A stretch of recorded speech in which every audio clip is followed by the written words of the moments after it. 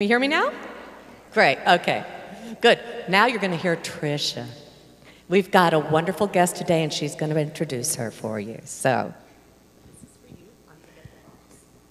Good morning. How's everybody today? Oh, come on. Better. Come on. You can do better than that. It's unity, people. Come on. Okay, I'm going to introduce our speaker, but before I do that, I've got a couple of special guests that I want you to know as well. Our Bishop Keith Earl from the Church of Jesus Christ of Latter day Saints, and my brother in faith, um, Chris McCarty, who's also on our South Dallas Interfaith Council, so they're visiting us today.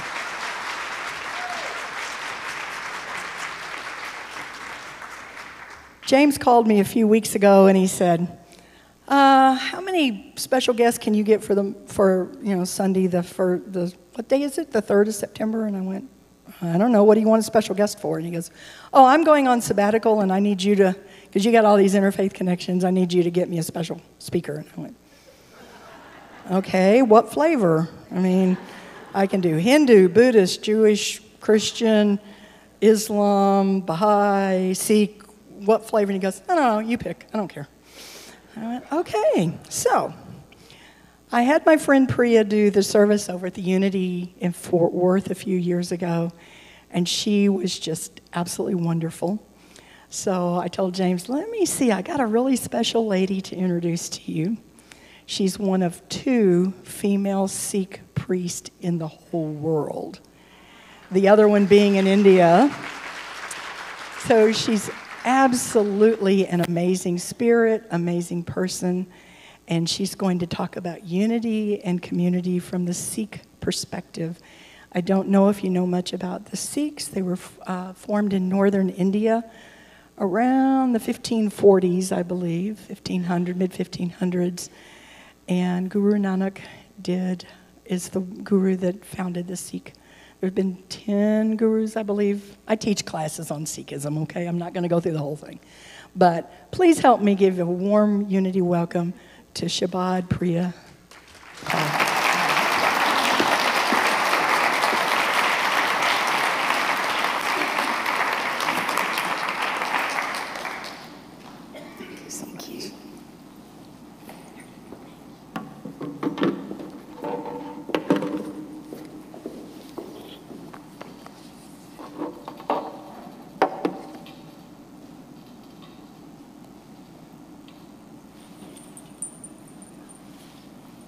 Good morning, everybody.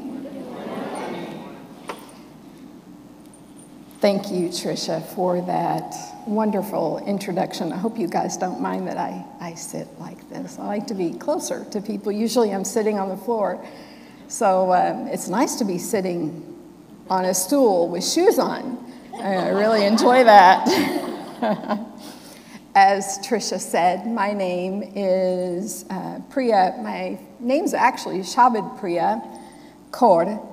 Um, I won't be offended if you call me Priya. It's much, much easier. I'm a Sikh Granthi. We don't really have the word priest, uh, but the closest thing in Western terminology is priest, so that's very close. Um, I came to Sikhi after a near death experience. We're not going to talk about that today. Some other time, if you want to know, I'll let you know. Um, but don't worry, I've studied world spirituality since age 12. I've completed training with the Sikh Missionary College, and I've held the position of head Granthi at a local Gurdwara for five years. Uh, now I run a nonprofit and I minister to those who don't attend Gurdwara, which is where Sikhs worship. Um, I am taking care of the spiritual needs of those who don't want to get up on Sunday and come in, uh, and their children. Somebody has to do it, right? Um, I'm 60 years of age, and yes, I broke my hand walking a new 12 pound puppy that bested me this week. Uh, but I did help clear the shelter. So I feel really good about doing that. It's, it's, it was entirely my fault, not Ginger's. And my husband and I is, uh, we love her to death. He is corralling that puppy as we speak at home. Uh, my personal style is very relaxed and approachable, a lot like Reverend James's. And I think that that's because we are both from Memphis. and he wanted me to make sure that I let you know about that, so one point for me. Now, as Tricia said, uh, Sikhism is a faith rooted in the uh, notion of universal equality for all mankind. Um, it started in the 16th century. I'll get to that in just a minute. It won't be a lesson on history, I promise. Um, we believe in one God, and we believe that that God is our creator God, um, and that an integral part of that God is unity. Therefore, we believe that the God that you believe in, the God that we believe in, no matter what we choose to call that God, is the same God. For example, water and agua are the same thing. It's the same thing to us. We call our God by many names, but mostly Waheguru, which means wondrous enlightener. Sikhism was founded in the late uh, 15th, early 16th century in the Punjab region of the Indian subcontinent. And that is modern day Pakistan. It's in the northwest of India. And it was based on the teachings of our founder, Guru Nanak. Now, Guru Nanak, he believed that there was a better way. There was a better way to worship God. There was a better way to live with others who believed differently. And he was a social reformer. And he came up with um, ideas like, oops, he came up with ideas like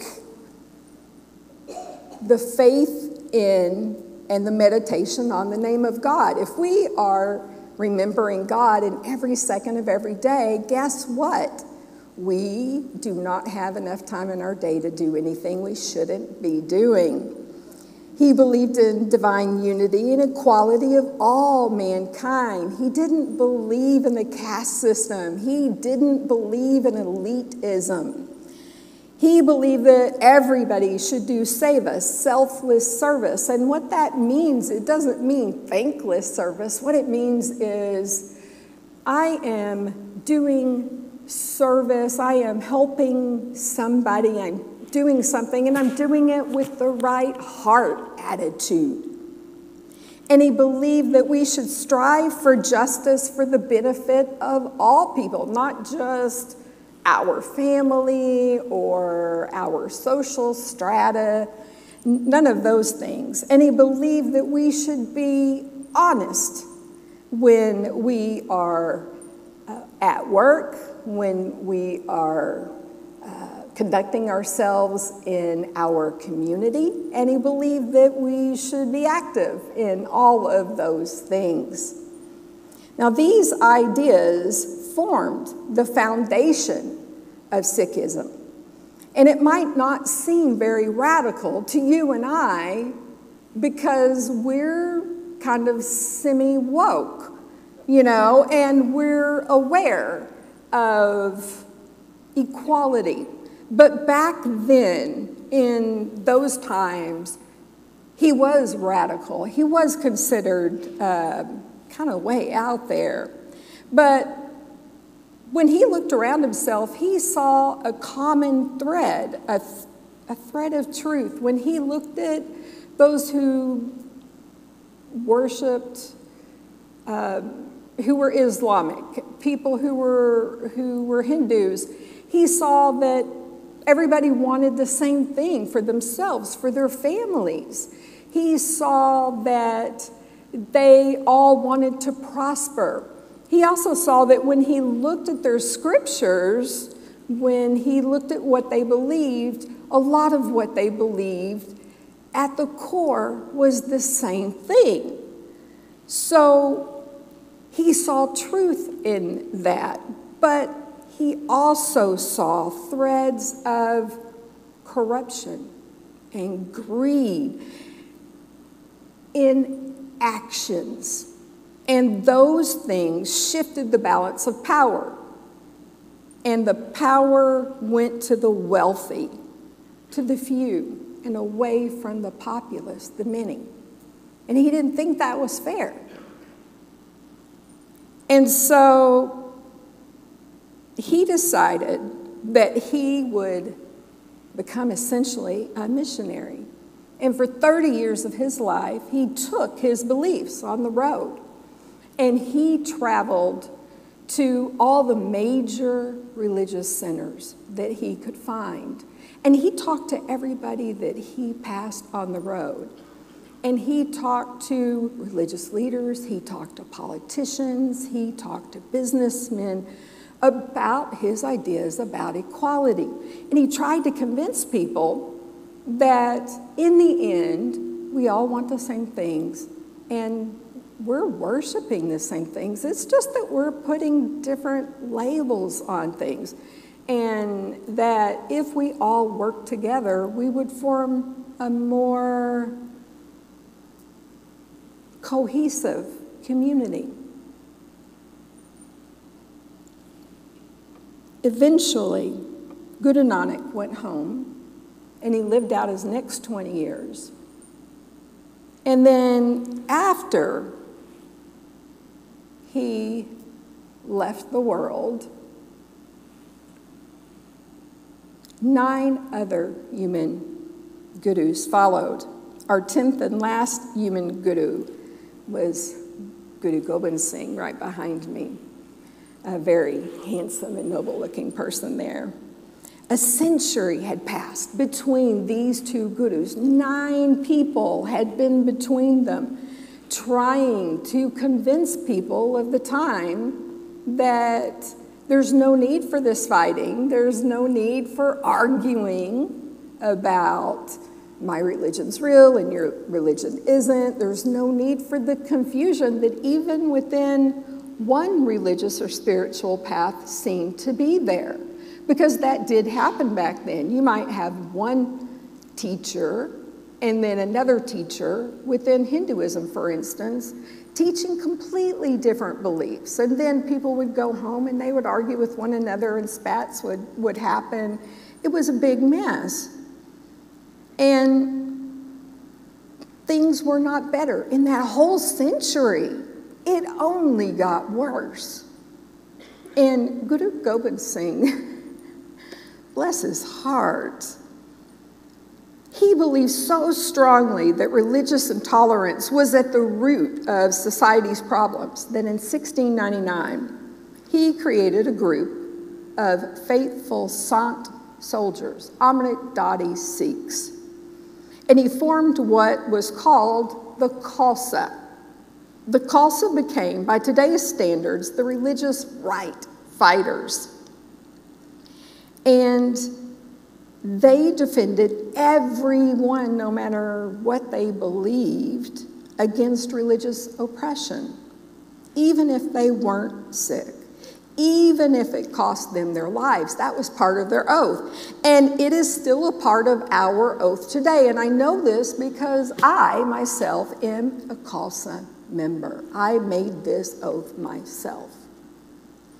You can pick out a Khalsa member because we always have the steel bracelet here. We always have a distinctive turban, and we always have a kirpan on. Men typically wear it under their kurta, and women wear it on top because we don't typically like rough things rubbing against our skin, and men just don't care. So, Go figure. Anyway, we're still here. Guru Gobind Singh was wit- witnessing increased violence, all in the name of religion. I personally think it was just an excuse to take what didn't belong to somebody. Many times, this division between people began over something as simple as God's name. That little thing. And so Guru Gobind Singh had this to say about it someone is Hindu and someone a Muslim, then someone is Shia and someone is Sunni. But all the human beings, as a species, are recognized as one and the same. Karta, the creator, and Karim, the merciful, is the same Lord. Razik, the sustainer, and Rahim, the compassionate, is the same Lord. There is no second. God's up here. He has all these names. As a, a Jew, I knew that. We had a ton of names for God. If I wanted to pray to for healing, I would use one name. And if I wanted to pray for vengeance because my neighbor did something to my beautiful tree that leaned up against the fence, I would use another name. That's like just, uh, I'm just telling you the truth. Consider, therefore, this verbal distinguishing feature of Hinduism and Islam as an error and an illusion. Thus, worship the one Lord, who is the common enlightener of all who have been created in his image, and amongst all comprehend the same one light. He was trying to convince people God's one, and we don't need to fight on this. It's, it's silly, it's ridiculous. Guru Gobind Singh obviously didn't care what name was attributed to God, even if it didn't match what he called God. Simply put, we all come from God, and when we leave this earth, we all return to God. So, what is the difference between us? To me, there, there wasn't one. Sikhs at the time and still today, we're peace loving. But some of us are prepared to, to defend others who, who are in war zones because we just think it's ridiculous. It's just ridiculous. Now, Sikhs weren't the only ones who saw the problem of the times. This guy's my favorite. Whoops. This is new to me. Kabir, because truth is everywhere. Sikh central scriptures, our scriptures, contain writings of many religions from many different people. One of my favorite Hindu bhagats is Kabir. He was an Indian mystic poet from the 15th century and he went on to become a Sufi sant. Kabir came to this conclusion regarding people who didn't believe like him.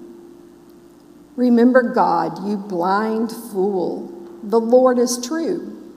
All worldly affairs are false.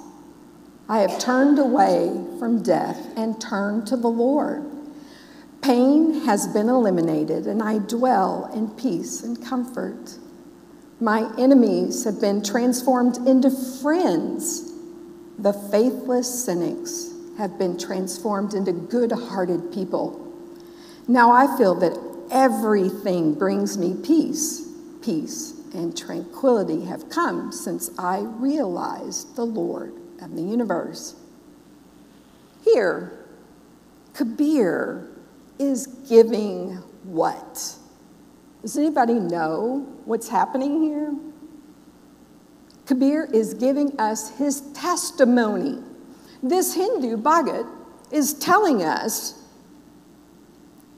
that God permeates the entirety of creation and beyond, including our enemies and those he considers the faithless.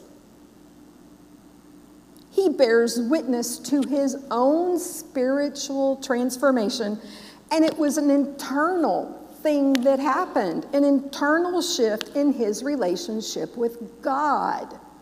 And at this point, remember, he's Hindu. He's talking about God in the singular. He says, it changed him so profoundly that now he sees God in everything, in all, in everyone, including himself. Many of us don't see God in ourselves. It's, it's difficult. Or in that person that doesn't pray like we do or in that person that prays to a God with a different name than we do. But Kabir did. And I think that's because God loves all of his creation, right? And we are his creation. Kabir couldn't help but see God in God's creation, could he? So when he looked at someone, he saw God in them, and he couldn't have animosity or anger or distaste for them. It just wasn't possible anymore. He just couldn't do it. And he's telling us about it in this testimony. And I think that's one of the reasons why, why I really love his writings so much, and, and I'm so thankful that they're included in this scripture. I love that he told us that he has been transformed. Later on, I didn't include it here, he tells us about how his transformation seems to have been magnified outwardly. Those that he talked to seemed to be transformed. And then those that they talked to seemed to be transformed. It was like a magnet. Things had just, a wave of transformation had happened. If the spiritual experience of one person like Kabir could create such a miraculous change, a shift in how we perceive these people that we don't agree with, imagine what kind of a world would result. Because back then in Kabir's day, it was very much a time of us and them. It's not so, it's not a stretch of the imagination to think that today it's kind of like that. And when I think about how much time has passed since when Guru Nanak came onto the scene. It does make me sad that we're still here fighting about the same things. Kabir's world, Guru Gobind Singh's world, Guru Nanak's world would be a world where everyone would be saying us and we and God would be in the center of that because they would see God in here. Can you imagine living in a world like that? What would happen? It, it just boggles the mind. That would be a world that would support true peace, true harmony, true brotherhood, true community. Be such a blessing. I'd like to share a quick personal story before we wrap up today, and then I am planning to, to sing from our scripture just two minutes, no worries, uh, because it was, it was asked for. Um, And after the service today, I'll be here. You can ask questions. And if you want a copy of these slides or anything I've said today, I'll email that to you if you would like. Um, one day, while doing Seva at Gurdwara, that's where, where I serve, where I worship, I was working on the line at the Tarrant County Area Food Bank. We were putting food in bags, and cars were coming through, and we were putting those bags in the back of cars. And an elderly Sikh and his wife came up, and they said, they didn't even say hello. They said, Do you know Nancy? And I, and I instantly thought, does this man think I know every single Western woman in Dallas Fort Worth named Nancy? Certainly not, because to me, every single time I go out to dinner or anywhere in public with a Punjabi, they seem to know every single Punjabi they run into.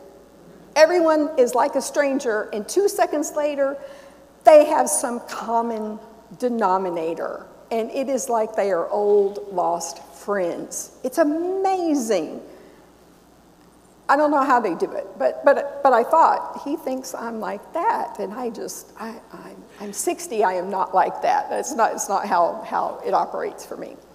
And, and I didn't. I, I don't know one Nancy. And I said, no, no, I, I don't, I'm sorry. He didn't tell me why he wanted to know.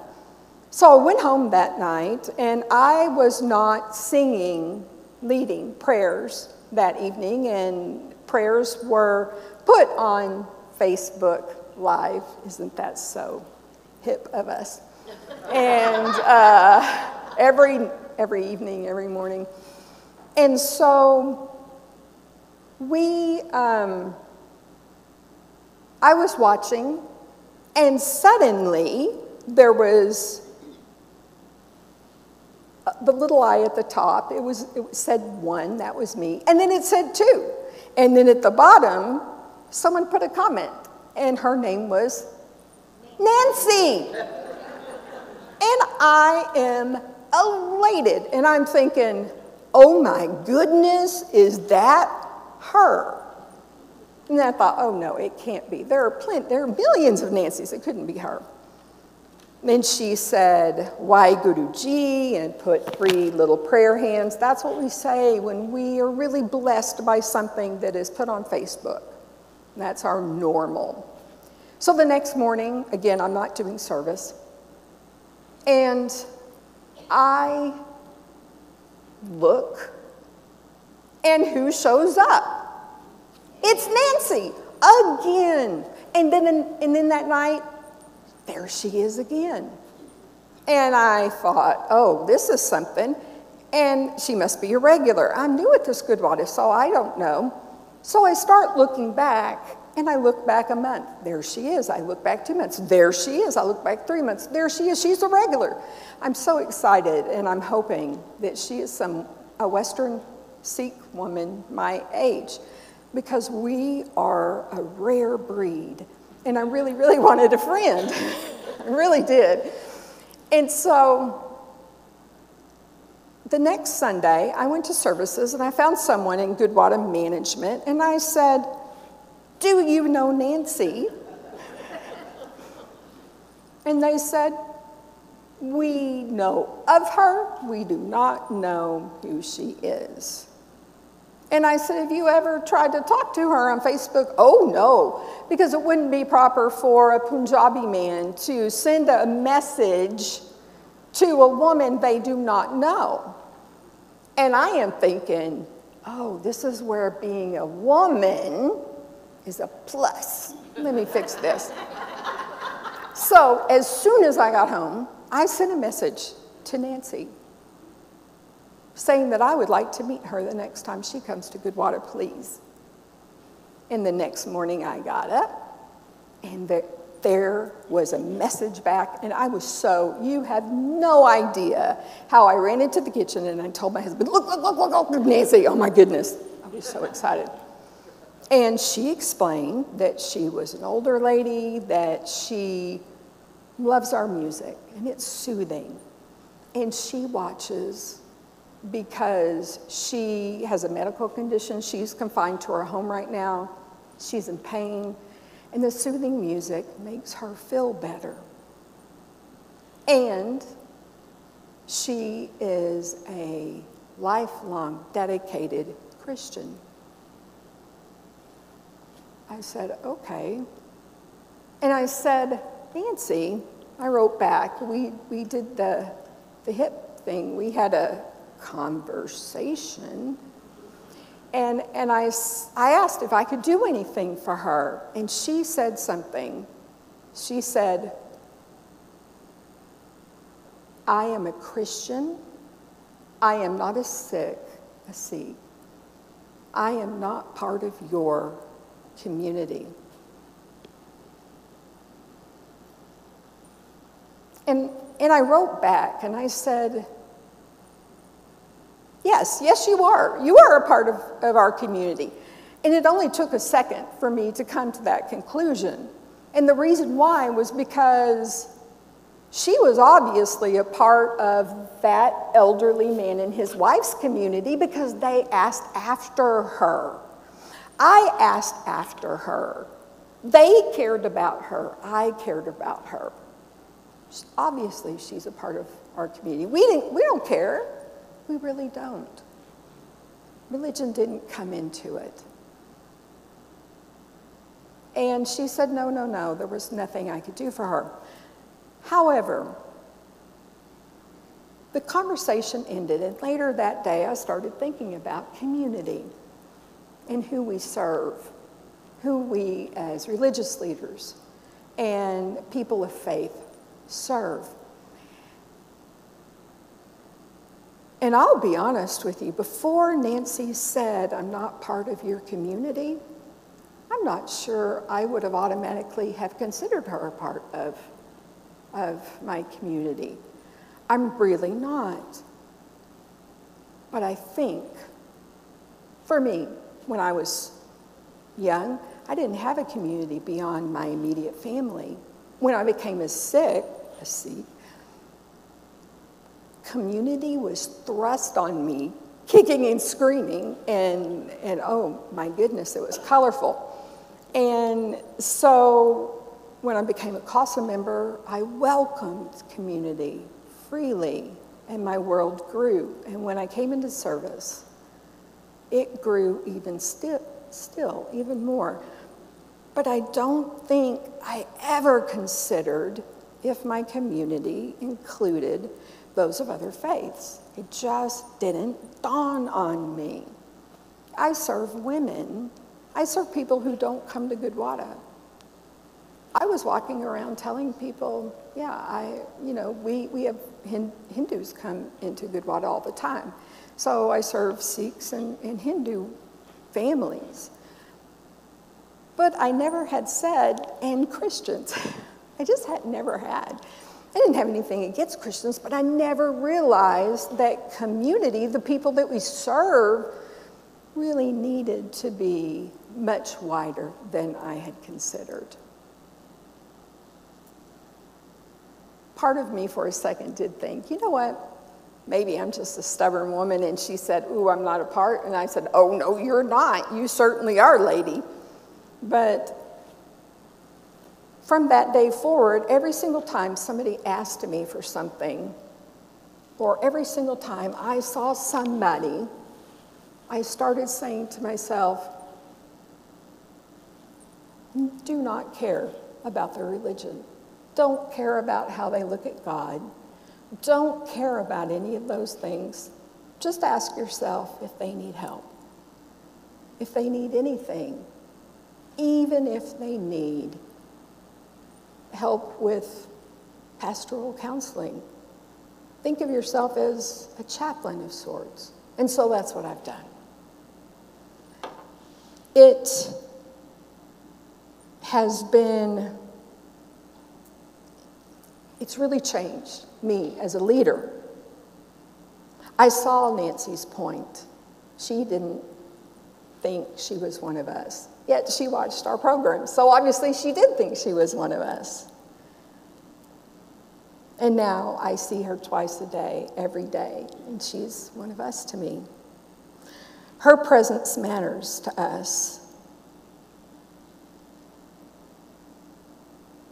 It's been many months since that discussion, and I realize, like Kabir, through time, I've had a transformation.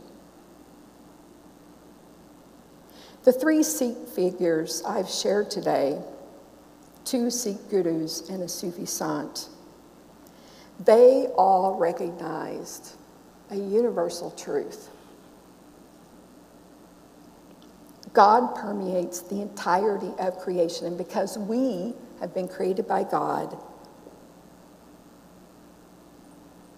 that includes us. And so when we look at people, we need to see God. Because that's a choice we make when we interact with others. It's a choice. And when we don't, we are choosing to close our eyes to God. It's a universal truth. I have no idea if your community includes me. I hope it does. From my perspective, I see God in you, and nothing else matters. In closing, because it was requested, I'd like to sing something called Chota Anand Sahib. You might relax. Feel free to read the English provided behind me or close your eyes or not. I'm from Memphis. I'm easygoing. See, two, two points for me, James. Maybe you can think about how you define community. I challenge you to look for the light of God in everybody you encounter this week, every single person, every person you see, every person. Choose to include them in your community.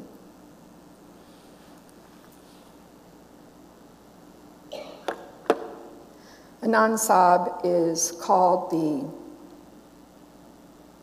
Song of Bliss. We sing it every single day in our services. And it is a song to God praising God for his presence. And it talks about unity of man. And it talks to what these three great teachers had on their minds.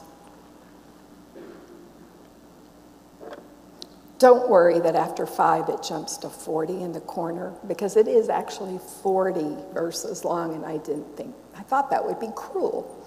So I wasn't going to do that to you, right? Even we don't do that in our services because we like to eat. And I mean, no, no, no, no, no.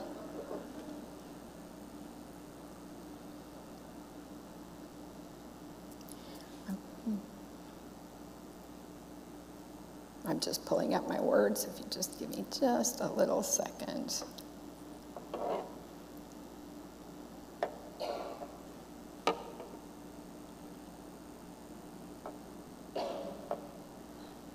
Here we go.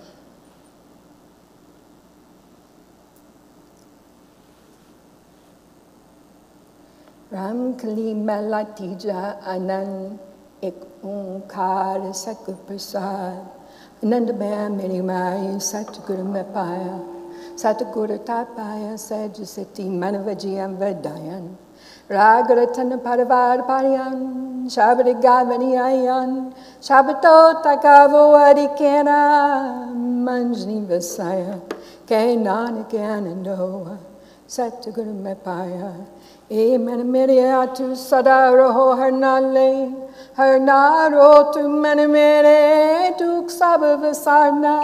अंगीकारो करे तेरा काज सब सवारना। सबना गलम स्मृत स्वामी सो को मन विसार। कई नानक मेरे सदारो रोहर नाले, साचे साहिबा क्या नहीं करते तेरे, गाता तेरे सब किश है जिस ही सो पावे सदा सिफित सलाह तेरी ना मन वसावे। नाम जिनके मन वसिया बाजे शबर के नेरे। कहे नानक सची साहिब, क्या नहीं तेरे। साचा नाम मेरा अडारो सच नाम अडारो मेरा। जिन बुक सब गवाया कार शांत सुख मानिया वसिया। Jinian Chasabopajayan. Sadakrabhankita Guruvitam. Jistiyavaniyayan. Kehnanik suno santo shabadaropiano sajya namira adado. Vajay pan shabitata garasabhagye. Garasabhagye shabadavajye. Kala jittadaditaria. Pancha dude tudvastikite. Kara kantana maria karam paya tu jinko, se nam harake lage, kahena nikten sukohua, titagara anahadavaji, ananan snow vagabagio, sagalaminore tpure, pod brahma prabhapaya, uttere sagalavisore, dukuroga santa putre, सुनी ਸੰਤ ਸਾਜਨ ਪੈ ਸਰਸੇ, ਪੂਰੇ ਗੁੱਟੇ ਜਾਣੀ। ਸੁਨਤੇ ਪਨਿਤ ਕਹਤੇ ਪਵਿੱਤ ਸਤ ਗੁਰੂ ਰਹਾ ਪਰਪੂਰੇ ਬਿਨਵੰਤ ਨਾਨਕ ਗੁਰੂ ਚਰਨ ਲਾਗੇ, ਵਾਜੇ ਅਨਹਤ ਟੂਰੇ ਮੰਡਾਨੂ